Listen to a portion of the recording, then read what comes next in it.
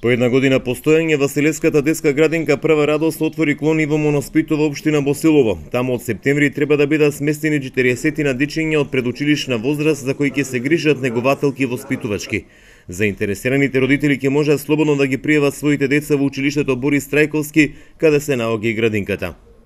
За таа цел ги покануваме родителите да ги запишат своите дечиња, да не ги доверат како би им помогнале во нивниот севкупен развој.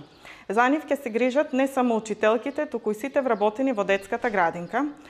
Уписот за дечињата од 2 до 6 годишна возраст ќе се врши во детската градинка Малото Славече, започнувајќи од 27.6.2016 година понеделник од 10 до 14 часот, па се до исполнувањето на бројот. При описот родителите треба да ги достават следниве документи и тоа извод од матичната книга на родените за децата и потврда за редовно вакцинирање на децата. Првиот човек на Василево Ванчо Стојанов смета дека детската градинка го оправда своето постоење, поради што својата дејност ја проширува и во соседната општина Босилово.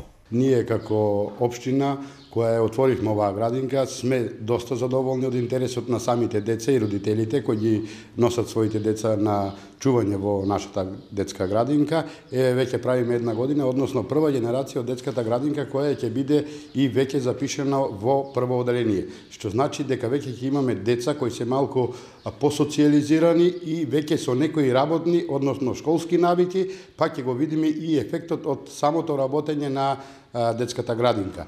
Во знак на добра соработка со Обшина Босилово и договорот кој го имаме за меѓуопштинска соработка и соработка со Министерството за труд и социјална политика, еве деновиве, односно од 1 јули ќе почне со функционирање и оваа детска градинка.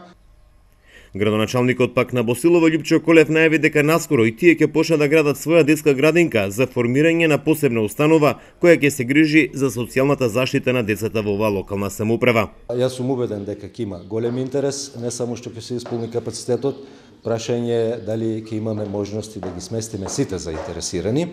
Значи, ова градинка ќе функционира во склоп како објект во склоп на детската градинка Детска радост од Василево. За таа цел нели ние имавме ние имаме донесено одлуки и подпишено а, договори за меѓуопштинска соработка а, со а, планови во иднина, значи во на територијата на општина Босилово да се направи уште еден таков објект, дали тоа ќе биде нова градба, дали ќе биде реконструкција на некои постоечки објекти и во тој период значи да се осамостои детската градинка.